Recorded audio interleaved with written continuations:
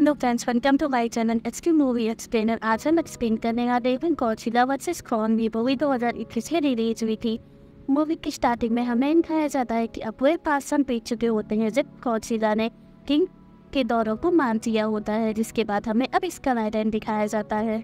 जहाँ पे मोनान ऑर्गेनाइजेशन अब कॉन के ऊपर नज़र रख रही होती है, ताकि वो इस आइलैंड से बाहर ना जा सके। और वो लोग ऐसा इसीलिए कर रहे हैं क्योंकि उन्हें पता होता है कि कॉन्ग अगर इस आइलैंड से बाहर जाएगा तो फिर उसकी गौचीजा से फाइट हो जाएगी। और हमें यहाँ पता लगता है कि गौचीला और कॉन्ग दोनों एक दूसरे के काफ़ी बड़े दुश्मन होते हैं। इसके बाद अब हम अकेची कॉन्ग को देखते हैं और कॉन्ग ने इस आइलैंड पे इकलौती बची हुई आदिवासी की ज़िंदगी को भी गोद ले दिया होता है। इसके बाद अब हम उस आदिवासी बच्ची को देखते हैं जो की बोल और फिर नहीं सकी थी। वो कौन से इशारों इशारों में बातें किया किया करती थी और ये दोनों एक दूसरे की बात अच्छे से समझ जाया करते थे। और इस लड़की का नाम जिया होता है, जिसके बाद हमें एक बर्लिंग नाम के आदमी को दिखाया जाता है और वो एक टेक्नीशियन होता है और वो अपेक्स साइबरनेटिक्स कंपनी में काम करता है और ये कंपनी इंसान और जानवर की तरह सोचने वाले मशीनों का निर्माण करती है। तभी एवं बन्नी को देखते हैं और बन्नी को अपनी कंपनी के ऊपर काफ़ी ज़्यादा डार्क हो रहा होता है, इसलिए बन्नी अपनी कंपनी के सारे डाटा को अपने फेंडर में कॉपी कर लेता है। तभी अब हम यहाँ पे गौजिला को देखते हैं और वो इस कंपनी के ऊपर अटैक कर देता है। और वो अब पूरी कंपनी में आग लगा देता है, जिससे कि ये पूरी कंपनी जलकर की राख हो जाती है। तभी हम बर्नी को देखते हैं। और अब इसी जलती हुई कंपनी में एक बहुत बड़ी सी डिवाइस मिलती है। उसे नहीं समझ में आता है कि कंपनी वालों ने इस डिवाइस को किस लिए बनाया है। और वहीं पे अब तरफ़ नींद चल रही होती है और सभी लोग जो गौचिला को टाइटस का रखवाना मानते थे। और इंसानों का अच्छा दोस्त था तो फिर वो अब इंसानों के लिए कैसे कचरा बन सकता है? वो उन्हें अन कैसे पहुँचा सकता है?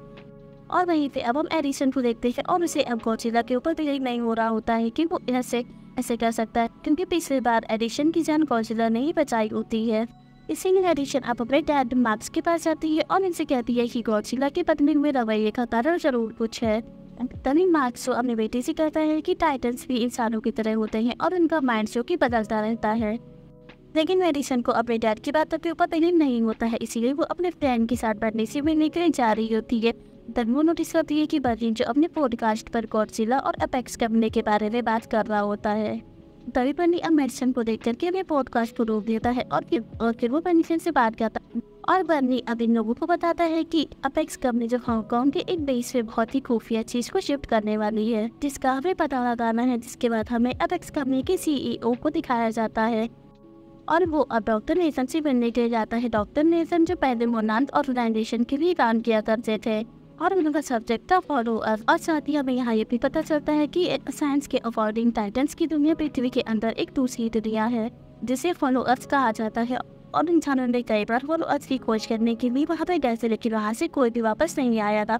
और माना यह जाता है कि फॉलो अर्थ का इकोसिस्टम जो कि काफ़ी स्ट्रॉन्ग है। और अगर कोई भी इंसान वहाँ पहुँच जाए तो फिर वो वहाँ के इकोसिस्टम से, वहाँ की एनर्जी से काफ़ी सारे इंसानों का फ़ायदा कर सकता है। जिसके बाद अब अगेन से हम इस कंपनी के सीईओ को देख पाते हैं और वो अब डॉक्टर नेतन से इस और अर्थ की खोज करने के लिए कहता है।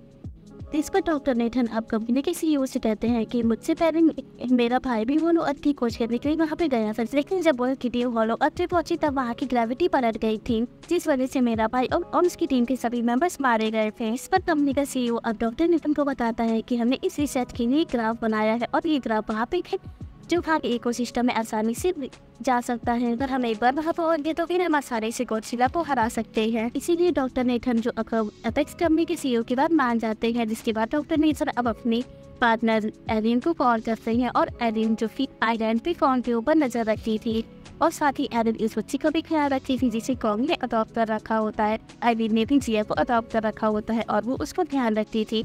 तभी यहाँ पे डॉक्टर लेकर आते हैं और वो अब आकर आर्य से कहते हैं हमें हॉलो अर्थ के ऊपर रिसर्च करनी हो, तभी हम उससे सीखे कि एनर्जी से कौन सी को हरा सकते हैं और कौन हमें वहाँ पे नहीं जा सकता है की, क्योंकि टाइटल्स के अंदर नेचुरल टेंडेंसी होती है, उस जगह पे जाने की जहाँ पे वो पैदा हुए हैं और कौन को भी उसका असली घर मिल जाएगा। अभी सारी बातें सुनने के बाद आयरन भी डॉक्टर नेथन की मदद करने के लिए रेडी हो जाती है।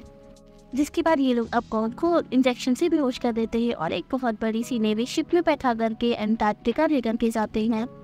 लेकिन जब ये लोग बीच समंदर में होते हैं, तभी गॉडजिला जो कि समुद्र के बाहर आता है और वो कौन के ऊपर हमला कर देता है। कौन जो कि समुद्र के अंदर होता है, इस वजह से इसे लड़ने में काफ़ी ज़्यादा दिक्कत हो रही होती है।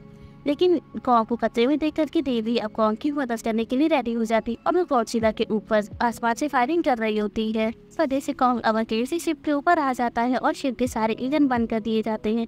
जिससे कि कौशिला को ये लगता है कि अब सभी लोग मारे गए हैं और वो यहाँ से वापस चला जाता है। जिसके बाद हम देखते हैं कि कॉक को अब एयर लिफ्ट करके उस सेकेंड लेकर के जाया जाता है, जहाँ से होलो अर्थ में जाने का रास्ता होता है। तभी हम यहाँ पे अब कॉक की और बेटी जिया को देखते हैं और जिया अब कॉक को इच्छाते से समझाती है कि उसे क्या करना है।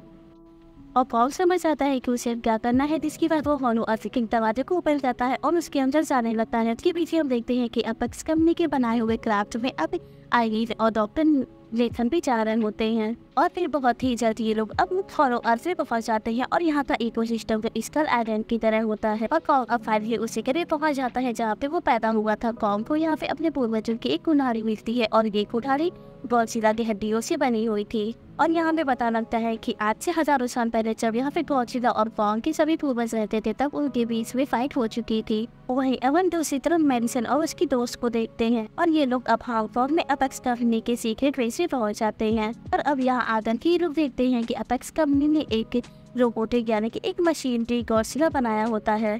जिसे की दौरों की गति को ज्ञातन से जिसे डॉक्टर सही टेलीपैथिक पावर से कंट्रोल कर रहा होता है और इस मशीनरी गौरशिला को चलाने के लिए इन लोगों के जिस पावर की ज़रूरत है, वो पावर इन लोगों के पास नहीं है, इसीलिए इन लोगों को फॉलो अर्थ या रेसवे की ज़रूरत होती है, ताकि वो इस मशीन की गौरशिला को चला सके और पूरी एस पे अपना कब्जा कर ले। इसके बाद आगे से हम कॉक को देखते हैं और वो अब वो अब कौन में होता है। यहाँ पे कौन की पूर्वजों की गद्दी होती है और वो उनकी गद्दी पे बैठ जाता है, तभी हम देखते हैं कि कौन के हाथ में जो उसके पूर्वजों की कुंडारी होती है, वो चपकने लगती है। इसके बाद कौम उस कुंडारी को उसी कुंडारी के जैसे बने हुए ढांचे में रख देती है। और उस ढांचे को वो ज़मीन पर रख देता है जिससे कि अब ज़मीन में जो रेडिएशन होती है, वो उसको, वो पुनारी में खींचने लगती है। और इसी वजह से वो पुनारी अब चार्ज होना शुरू हो जाती है जिससे यहाँ पे लोगों को एनर्जी सोर्स के बारे में पता लग जाता है। तभी हम अपेक्स कंपनी के मेंबर को देखते हैं और वो लोग इस एनर्जी के कुछ सैंपल जो की अपेक्स कंपनी में बेचना शुरू कर देती है। हालाँकि यहाँ पे आईलिन जो इन लोगों को ऐसा तरह से मना करती है, लेकिन ये लोग आईलिन की बात नहीं सुनते हैं। इसके बाद हम गॉडसिला को देखते हैं और उसे पता लग जाता है की कोई अर्थ में जाकर के एनर्जी को स्टोर कर रहा है, जिस वजह से काफ़ी गुस्सा आता है और वो अपने एटॉमिक डेट से धरती के अंदर कटा करना शुरू कर देता है। के बाद हमें अब वही कोरियाने की फॉलोअर दिखाया जाता है, जहाँ पे भी पता लगता है कि अपिक्स कंपनी के लोग यहाँ से भागने की कोशिश कर रहे होते हैं। जिस वजह से कौन को पता लग जाता है कि अपेक्स कंपनी के जो लोग हैं, उनके इरादे ठीक नहीं है, इसीलिए वो उनके साथ उठा करके वहीं पे तोड़ देता है। दूसरी तरफ़ अब हम कॉर्सिना को देखते हैं, जिसने अब अपने अटॉरिटेरी से लेकर के होलो अत के बीच काफ़ी बड़ा गड्ढा कर दिया होता है। उसी गड्ढे से कॉन्ग अब बाहर आ जाता है और जैसे ही कॉन्ग अब बाहर आता है तब वो अपने सामने कॉर्सिना को देखता है। और ये दोनों काफ़ी सालों से एक दूसरे के दुश्मन होते हैं, इसी वजह से जब ये दोनों एक दूसरे के सामने आते हैं, तब इन दोनों के बीच काफ़ी बड़ी लड़ाई होने लगती है। गॉडजिला अब अटोमिक तेज से काफ़ी ज़ोर से पावर छोड़ता है, लेकिन फौज के पास जो कुल्हाड़ी है, उसके अंदर अटोमिक तेज की काफ़ी पावर होती है। और कुल्हाड़ी की मदद से कॉन्ग अब गॉडजिला के तेज के बैग को रोक लेता है। और इसी के साथ कॉन्ग अब उस किनारी की गॉडजिला के अंदर घुस हो जाता है और किनारी के अंदर इतनी ज़्यादा पावर होती है जिससे से गॉडजिला और बॉन्गनो दूर ज़्यादा की गिरते हैं। लेकिन कॉन्ग अब अकेले से खड़ा हो जाता है और वो अपने कुल्हाड़ी को बाहर निकालता है। अब वो नोटिस करता है कि कुल्हाड़ी के अंदर अब वो एटॉमिक पावर नहीं रही। यानी कि अब उसकी कुल्हाड़ी जो कि डिस्चार्ज हो चुकी है, अब उसके अंदर पावर नहीं बची है, तभी हम अब कौचिला को देखते हैं और वो भी अब खड़ा हो जाता है। इसके बाद अब अकेले से कौचिला और कॉन्ग के बीच भयानक फाइट होती है और इस बार कॉन्ग को गौचिला ने हरा दिया होता है।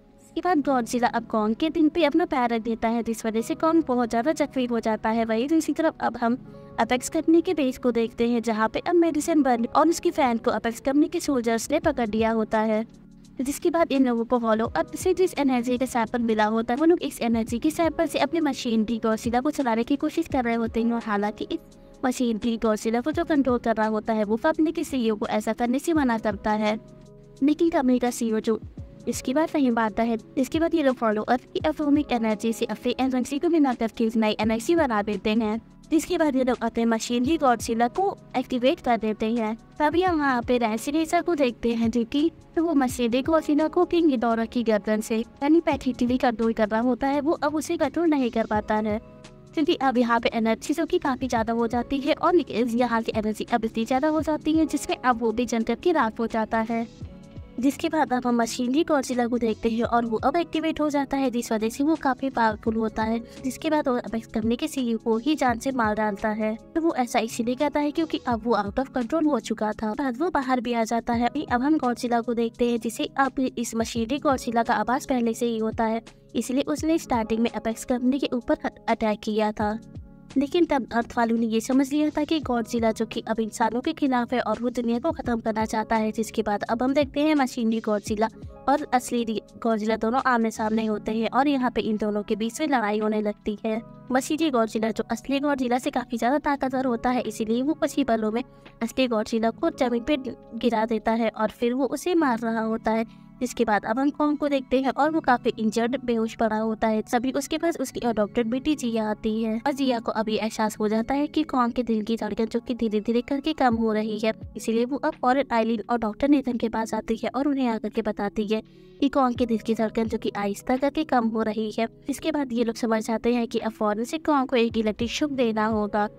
इसीलिए अब ये लोग फ़ौरन से अटैक करने के उस क्राफ्ट को लाते हैं जिससे कि ये लोग फॉलोअर्स में कैसे वो लोग इस क्राफ्ट को कौन के दिल के पास ला करके कैश कर देते हैं। इस वजह से कौन को इलेक्ट्रिक शौक लगता है और वो आगे से ज़िंदा हो जाता है। इसके बाद जिया अब कौन को समझाती है कि असली गौरशिला हमारा दुश्मन नहीं है, जबकि वो तो हमारी रक्षा कर रहा है।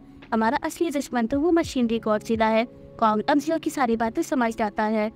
इसीलिए कॉन्ग अब से फ़ौरन निकल जाता है और वो अब सीधे मशीनरी गोजिला के पास जाता है। तभी वो नोटिस करता है कि मशीनरी गोजिला जो असली गोजिला को मार रहा होता है, सभी पीछे से कॉन्ग अब मशीनरी गोजिला को पकड़ लेता है और इसे मारने लगता है। गोजिला ये चीज़ देख करके समझ जाता है कि कॉन्ग उसकी मदद कर रहा है। इसके बाद ये दोनों मिलकर के मशीनरी गोजिला को मारने लगते हैं, लेकिन मशीनरी गोजिला जो इन दोनों से ज़्यादा पावरफुल होता है। तभी हम कॉन्ग को देखते हैं जो अपनी कुल्हाड़ी से मशीनरी गोजिला के ऊपर अटैक कर रहा होता है, लेकिन कॉन्ग की कुल्हाड़ी का अटोमिक पावर जो कि अब खत्म हो जाता है, इस वजह से पश्चिमी गोजिला के ऊपर ज़्यादा असर नहीं पड़ रहा होता है। जिसके बाद अब हम अपेक्स कंपनी के बेस को देखते हैं, जहाँ पे बर्नी और मेडिसन उस मशीन के ऊपर पानी डाल देते हैं, जिस मशीन से मशीनरी गोजिला को बनाया गया था, जिस वजह से उस मशीन में इलेक्ट्रिक शॉक होता है। इस और इसी वजह से मशीनरी गोजिला को देखते हैं, जिसका अब कुछ पलों के लिए ध्यान भटक जाता है, तभी हम असली गोजिला को देखते हैं और वो अपनी एटॉमिक ब्रेथ से पौकी कुल्हाड़ी को चार्ज कर देता है। जिसके बाद कॉन्ग अब उसी किनारे से मसीदी कौशिला के टुकड़े टुकड़े कर देता है और वो उसकी गर्दन पे उफान करके फेंक देता है। तो ये हम असली गौरसिला और कॉन्ग को देखते हैं? ये दोनों एक दूसरे के सामने होते हैं जिसके बाद ये दोनों एक दूसरे के अस्तित्व के स्वीकार कर लेते हैं। जाने की अब ये दोनों समझ आते हैं कि गौरसिला और कॉन्ग दोनों इस दुनिया पे रह सकते हैं और दुनिया वालों की रक्षा कर सकते हैं। जिसके बाद गौरसिला अब अपने समुद्र की दुनिया में वापस चला जाता है। जिसके बाद अब हम उदान के ऑर्गेनाइजेशन को देखते हैं। और वो लोग अब फॉलो अस पर नज़र रखने के लिए एक ऑर्गेनाइजेशन पोस्ट बनाते हैं और फॉन्ग अब फॉलो अस के नोट चुका है और वो अब वहाँ का किंग है और इसी के साथ इस मूवी की हो जाती है थैंक यू फॉर वॉचिंग